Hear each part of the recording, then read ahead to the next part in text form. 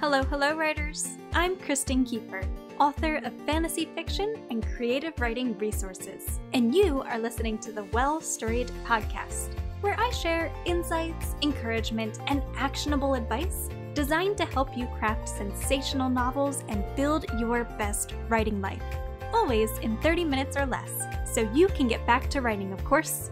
Ready for the show? Let's get talking.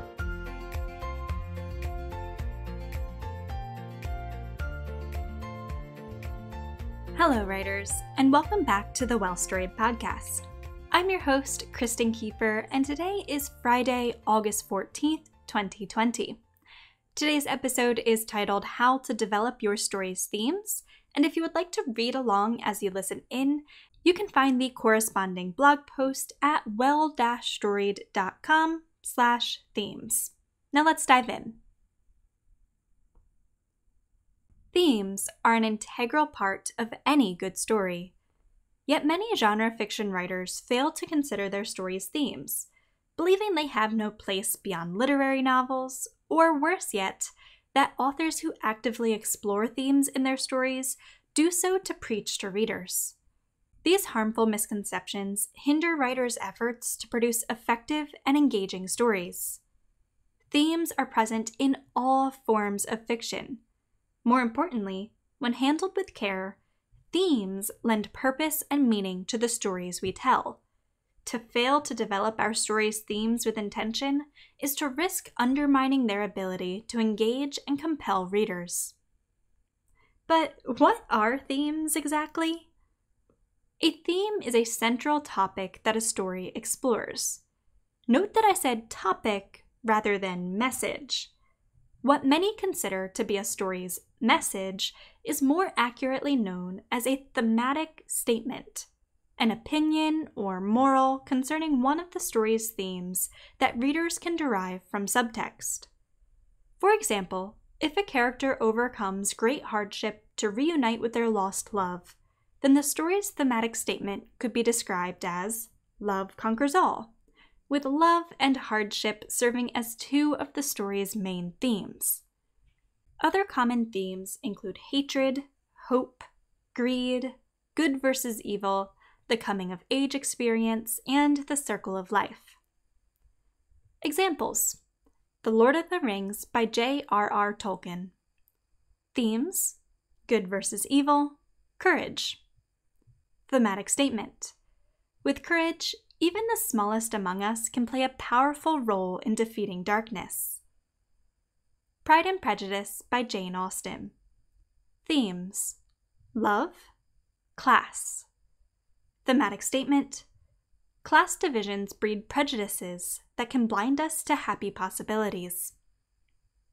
On occasion, I've seen themes called topics and thematic statements called themes what you choose to call these two related story elements isn't important.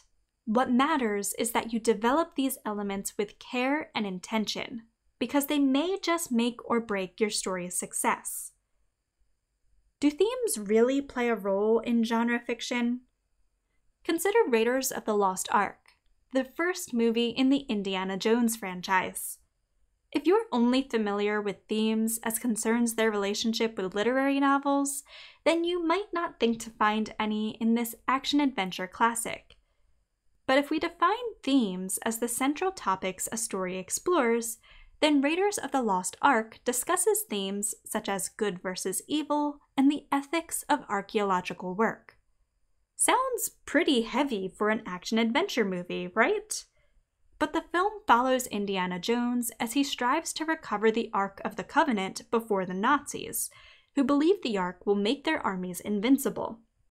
One of the film's thematic statements could therefore be ancient relics should be respected rather than used for political gain.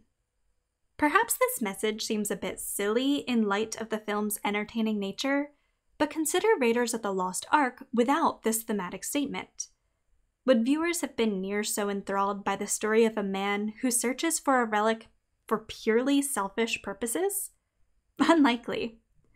Viewers root for Indy's success because they recognize that his efforts could make a vital difference in the war against fascism. This motivation is what lends Raiders of the Lost Ark its meaning, and thus its edge of your seat entertainment. To put it simply, without themes and thematic statements, our stories are meaningless. Thankfully, developing these essential story elements doesn't have to be a difficult process. How to define your story's themes. Your story's genre and age market will likely define at least one of its major themes. For example, romance novelists write about love. Young adult novelists write about the coming of age experience. But other themes are more story specific. If your romance features an interracial couple, then your story might explore the topic of racism. Or if the protagonist of your YA novel is a Harvard hopeful, then your story might discuss the pressures of academia. In this way, your story's themes can develop naturally. However, you can also choose to write a novel with a specific set of themes in mind. For example, I knew I wanted to explore the intersection between ambition, power, and the corrupting nature of greed when I began to develop my current work in progress, Lady Legacy. Your story may discuss a large number of topics. However, I recommend identifying the two to five most important themes your story will explore. Defining these topics will help you hone one of the most important facets of your story its thematic statements. How to develop your story's thematic statements. Some thematic statements concern plot or world building. For example, in The Hunger Games, Suzanne Collins explores the concept of spectacle, theme, and how authoritarian governments often use spectacle to distract from the suffering and oppression they inflict. Thematic statement. However, a story's most important thematic statement is often that which lives at the heart of its characters' experiences. Readers didn't tear through the Hunger Games for its discussion of spectacle.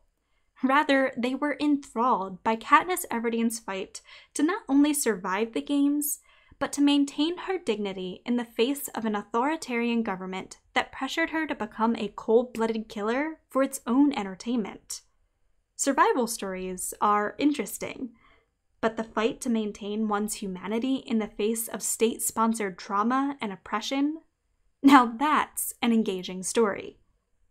When developing your story's most important thematic statements, consider character arcs. Who are your characters when their stories begin?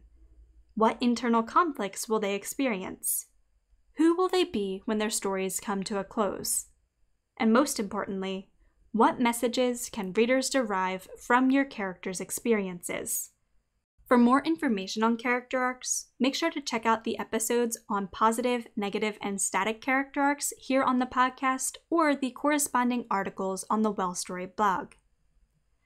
Once you've identified these thematic statements, use them to hone your story as you write and revise.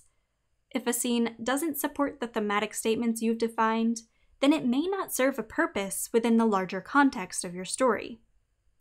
Try to avoid beating readers over the head with your intended point. If you've refined your story's plot and character arcs to support the thematic statements you'd like to make, then readers will get the message. Shouting it at them will only make your point feel forced and your story contrived. If you're unsure whether you've developed an effective thematic statement, then consider what a good thematic statement is not. 1. A good thematic statement is not a theme. It's an opinion or moral that concerns a theme. Not a thematic statement? Love. Thematic statement? Love conquers all. 2. A good thematic statement is not a definition. It does more than simply explain the meaning of a theme. Not a thematic statement? Love is the affection we feel for others. Thematic statement Love can blind us to the flaws in our relationships. 3. A good thematic statement is not story specific. Rather, it conveys a more universal message. Not a thematic statement? Romeo and Juliet's love is destructive. Thematic statement Star-crossed love can both heal and destroy. If you can clearly define what you'd like your story to say, then you hold the key to developing a meaningful story that will keep readers on the edges of their seats. So tell me, writer, what themes will your story explore? Thank you for listening to today's episode of The Podcast Writer. I hope you found it helpful to your writing journey. If so, make sure to subscribe to the podcast so you never miss a new episode, and to give the podcast a quick rating or review. Doing so goes a long way toward helping the podcast reach new writers and lets me know that you're enjoying what I'm creating. You can also give me a shout out directly on Instagram at Kristen underscore Kieffer. For additional guidance as you work to craft sensational novels and build your best writing life, be sure to head on over to www.well-storied.com, where I share blog posts, workbooks, e courses, and other helpful resources for writers. Again, that's W E L L S T O R I E D dot com. Thank you again for tuning into today's episode, my friend. Until next time, happy writing!